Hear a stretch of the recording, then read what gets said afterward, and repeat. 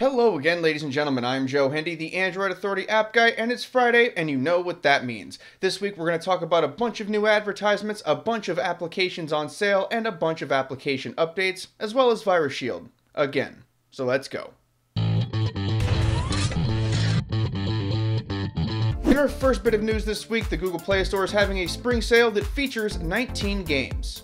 Some of the more well-known games on the list include The Room 2, The Dark Knight Rises, Riptide GP2, Need for Speed Most Wanted, and 10 Million, but pretty much every game on the list is pretty enjoyable. It is not known how long this sale will continue, so if you're up for buying a few awesome games, now is the time to do it. It's also worth mentioning that the sales page may not be up for all regions. This usually is not a problem as you can just go to the game itself in the Play Store and get the discounted rate there. If you want the full list and links to each one, we'll have that linked in the written companion, which is in in the video description below.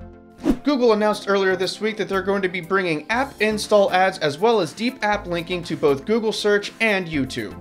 Okay, so these two pieces of news mean two wildly different things. If you're a frequent visitor of sites like Yahoo or Facebook, you've seen app install ads before. It's essentially an ad that, when you click on it, will install the advertised application directly to your device. This is meant to help bolster app downloads and get people out of their shells to try some new things. Arguably, the more interesting piece of news here is the deep app linking. Here's an example of how this would work Say you did a search for HouseMD. Advertisements in the results would point you to things like Netflix. If you were a Netflix subscriber, you could click on that advertisement and then Netflix would open on your device and put you on the HouseMD page. Ostensibly, this would make advertisements more useful and would probably generate not only more clicks, but encourage people to use their Android devices and Android apps more in their everyday lives.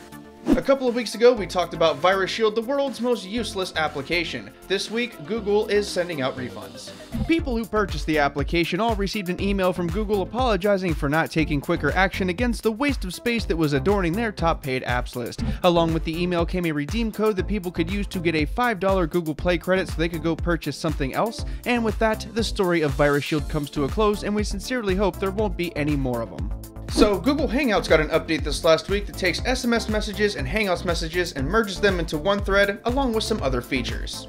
People seem to be really happy about this update, and I guess I can see why. It helps clean up the multiple threads problem and makes the experience more streamlined. Ironically, the update also included a separation of phone contacts from Hangouts contacts, so while messages are mixed, contacts are now separate. It's a good update and pretty much everyone should have it by now. I was really hoping for something like SMS support and Chrome extension or a standalone Hangouts application on desktop, but this is still good too. You know, baby steps.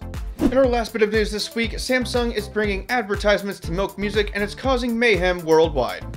N not really. This is kind of a big deal because its original selling point was that it was ad-free. However, as the fine print states, the ad-free part was for a limited time only, and unfortunately, that limited time is running out faster than we would have liked. Here's the thing, even with the advertisements, this is still a pretty decent music service for Samsung devices. It is still free to use and it's still powered by Slacker Radio, which means you're still getting more music than you would with Pandora. It's not going to stop people from being angry about it, and that's okay, but if you have it and you're wondering if you should go back to Pandora or another music music service, I'd wait and see how bad these ads are before tossing it away for good. So who wants to check out some trending applications? As usual, if you want to check any of these applications out, you can find the links in the written companion, which is in the video description below. First to get the nod this week is ES File Explorer. It's already ragingly popular, but if you're a root user, ES File Explorer's latest update can be really helpful. It includes a new root-only permission that allows it to read and write to your SD card, thus circumventing the new Android KitKat SD card limitation problem. Currently, it is one of only a few file managers that can do this, so if you're rooted and suffering from the KitKat SD card blues, ES File Explorer has you covered. If you're a fan of the original Baldur's Gate, then I've got some good news for you. The original game has been re-released for Android with some enhancements to make the mobile experience better. It's one of the better action RPGs to come out over the last 15 years, and it seems to continue that proud tradition. There are in-app purchases that include more missions, re-recorded voice sets, and artwork. It's a little expensive at $9.99, but you're looking at 60 hours of gameplay, so it's probably worth it.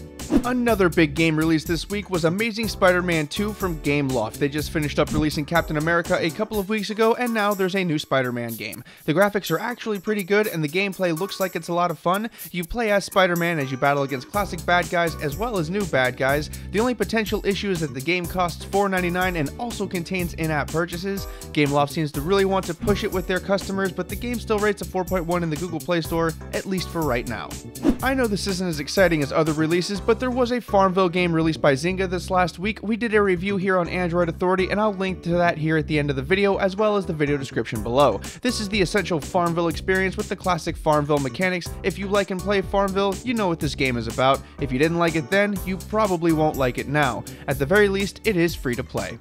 Last up this week is the now venerable Clash of Clans. This insanely popular online multiplayer strategy game got an update recently that has introduced a new game type called Clan Wars. The concept is very simple your clan goes up against other clans and you battle it out for a few days. It adds some new life to an aging premise, and they managed to do it in a way that newer and veteran players can enjoy. The game is free as usual, so there's no harm in checking it out.